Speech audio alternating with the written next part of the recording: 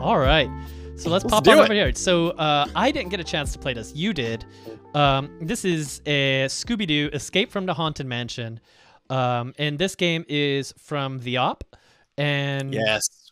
yeah, so so tell us a little bit more about this game. I I'm pretty I, I'm pretty excited about the style of game, but you you talk a little bit more about it. I am too. Um, this is the latest in the Coded Chronicles game series by the Op. Um, I'm excited by these. These are these are meant to be games like escape room style games, right? Mhm. So you there's a mystery, you're trying to solve it. Um, oh my gosh, the theme song was almost there in my head. Uh, there's a mystery to solve, and Scooby Doo is ready for you. Okay, all right. Anyway, um, I don't have it.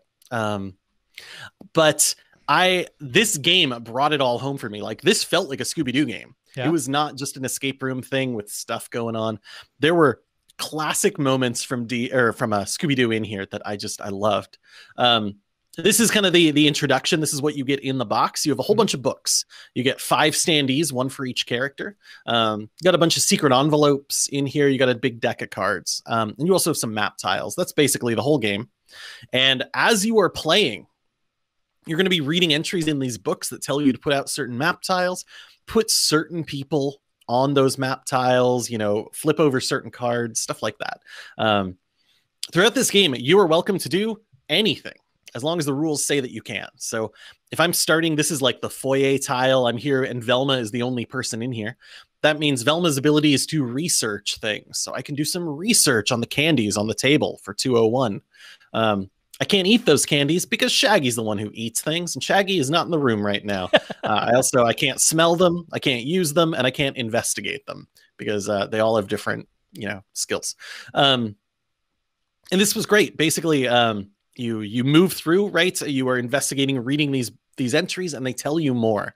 Um, this one starts with just Velma, right? Something happens, right? And in the read me first, it tells you exactly which of these books to get into first gives you the basic scenario. In this one, you are um, the the mystery machine breaks down. You go to the nearby house. Um, and uh, it's haunted. The butler here lets you in, and uh, as you all run in, something spooky happens, and only Velma uh, is available in the first round here in the foyer. So, trying to get out of it. Um, this is uh, how the game works. The entire thing. If uh, if I want Fred here to talk to the butler, then I need to look up entry 5423, which is in the Fred book. Um, I flip to that and it tells me what's going on. Every card has a different number on it. Um, all the rooms have different numbers all over them, and you're just trying to keep track of the whole thing. Is Um, is there a mechanic for running in one door on a side of the hall and coming out the other door on the opposite side? there was not. No, no. But um, those sorts of things happened quite a bit, actually. Like, Oh. um, uh, I wouldn't say that specifically, but there were moments when the team gets broken up. Like you find other people, like just in the con, you know, like in the cartoon, you meet up. Oh, there's Fred. Fred's tied up. Oh no, there's uh, there's Velma. Velma's over there. Um, there's Shaggy. Shaggy is trapped in a uh, piano or something. like it's, there's all sorts of just like wacky things. Um, and I, I really, I really liked it. Like it felt like a Scooby Doo adventure. Um, inside the envelopes, there's all sorts of things. Like this one was this skeleton key. It gave you like some Tetris pieces, some tetrominoes um, that you might have to build in order to get through certain doors in the game, stuff like that. Um, it was just great. I mean, yeah, right. That's uh, it's where you hide. It's just where you Uh, hide. Dom, Dom, Dom is letting us know he did get trapped in pianos a lot. To be yeah, honest, yeah. right. Um, so you didn't have the whole team every time or Mhm. at, in every moment, right? And certain entries would be like, "Oh, zoinks! You are like these people are they're they're out of the room now," or you see something creepy and everybody runs, and now you're just playing, you know, Fred and Shaggy, and you're in the kitchen now, something like that. Um, nice. so it felt like you know it felt like clue a little bit with that people moving around um in this one you were specifically meeting people and of course in every scooby-doo story we know what happens when we meet a group of people right? Ye- one of them did it. Yeah. and so like there's there's all these story nodes that are like moving you around and and letting you investigate this whole place but in the back of your mind it's still like one of these people this this place isn't haunted. It's one of these people right?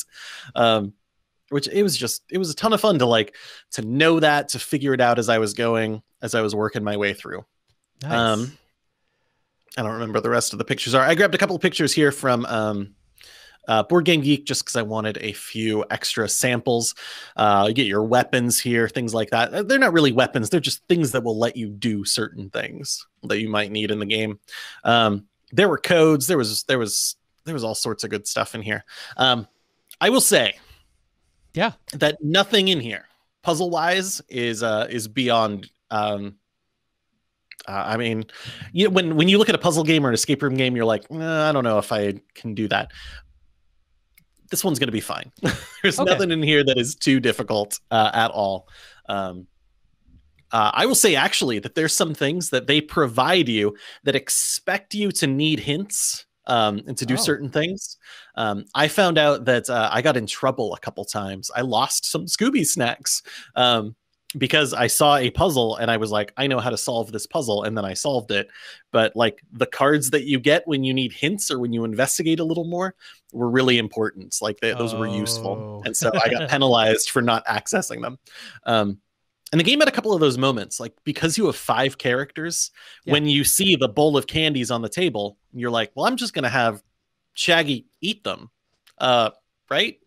Um, I don't have, you know, Scooby come over and smell the bowl afterwards or some investigation, but sometimes those things lead to clues. So you really want to use all the books and have all your characters available to you so you can search everything all the time um, to get all the cards you might need to solve the biggest puzzles and figure out exactly who who did it, who right. who done did it, who's the haunter.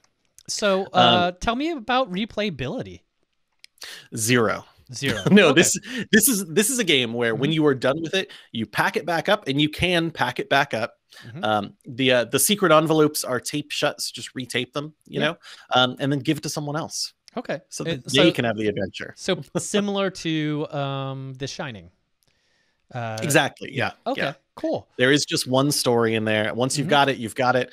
But the good news about these games is um, you can play them with a lot of people. There's no limit. Uh, you're just kind of reading the books and, and deciding what to do as a group. Uh, so it's good for solo. It's good for a bunch. Um, and unlike some of the escape room games, you never have to tear anything up. That's so that's good.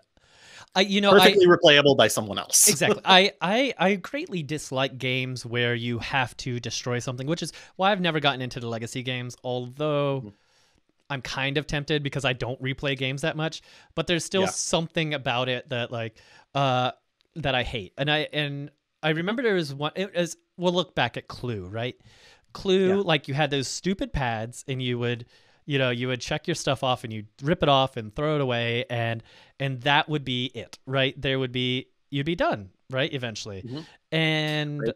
I, I i dislike that there was a finite amount of times that i could play a game even though i don't i'm not going to play it the 50 60 times uh, yeah yeah yeah, I totally understand what you mean. Like those, they just you see it and you're like, this game has an expiration date. And I mean, a lot of games do. We just don't realize it because we we only play it three times and then it's yeah. two years later and we're not going to go back to it, right? Exactly. um, but uh, but it tells you right in advance that this will be a limited experience, so enjoy it while you can. That's awesome. Um, yeah. Cool. I, I really thought this was fun, and if you are looking to get into this kind of game, and The Shining was a little bit too like, okay, that's that's spooky. Um, this one's just fun. It's just fun. It's silly. It's got Scooby Doo moments in it, and uh, it, it really felt like the writers did a lot of good dialogue in there. Like when you read the Velma book, you get Velma quotes. You know, when you read the Scooby book, you get ridiculous things. um, so I think you should check it out. Nice, nice. That's awesome. Um, yeah. So overall, you like this game. You like the style of game. Do you have any more of these reviews for this style of game coming up, or are we are we settled for now? Uh, I think we're settled. I think these are the only two that are out by the op right now. Okay. Um, uh, I I love escape room games, so I may check out a couple other ones. Um, I have a few around here, I'm sure. nice. Um, yeah, yeah.